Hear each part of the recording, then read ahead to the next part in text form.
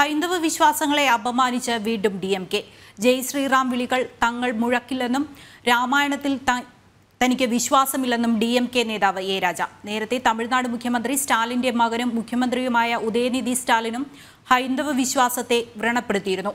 രാജയ്ക്കെതിരെ നടപടി സ്വീകരിക്കണമെന്ന ആവശ്യവുമായി B J P നേതാവ് അമിത് മാളവിയും രംഗത്തെത്തി.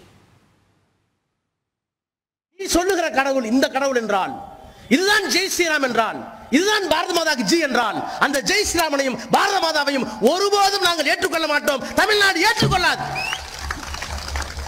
நீ வேணா சொல்லிப்பார் ராமனுக்கு எதிரி. என்ன ராமனுக்கு எதிரி? எனக்கு தமிழ் வாசம் சொல்லி கொடுத்துருக்காங்க நாலு பேர் அண்ணன் தம்பி ராமன். சீதை தேடிட்டு காட்டுக்கு போறான். வேட்டுவ இனத்துல குறவனாக இருக்கிற காட்டில் இருக்கிற குகன் வர்றான்.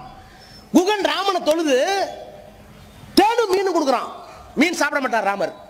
ஆனால் அன்போடு தேனை வாங்கி கொண்டு தேனை சாப்பிட்டுட்டு மீனை நான் சாப்பிட மாட்டேன்னு சொல்லி பக்கத்துல கொடுத்துட்டு அவன் சொல்றான் நாங்க நாலு பேர் குகனோடு ஐவரானோங்கிறான் நீ வந்துட்டப்பா நாலு தம்பி நீ குறவேன் நீ வேட்டுவேன். ஆனால் இவ்வளவு அன்போடு கானகத்தில் என்னை பார்த்து கொண்டாயே நீ எனக்கு இனிமேல் ஐந்தாவது சகோதரன். அப்புறம் போறான். சுக்ரீவன் வரான் போருக்கு துணை நிற்கிறான். குகனோடு ஐவரானோம்.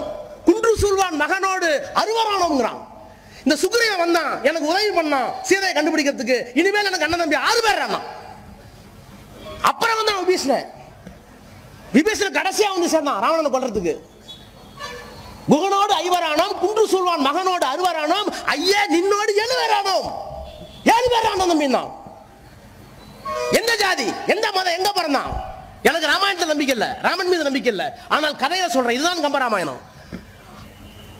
நாலு பேரா சந்த அண்ணன் தம்பி பிறந்து ஒரு குறவரை ஒரு வேட்டுவரை இன்னொரு சகோதரனாக ஒரு குரங்கை இன்னொரு சகோதரனாக இன்னொரு குரங்கை ஆறாவது சகோதரனாக ஏற்றுக்கொண்ட ராமாயணத்துக்கு பேர் தான் மனித நல்லிணக்கம் என்று சொன்னால். நீ சொல்ற ஜெய் ஸ்ரீராம். C idiot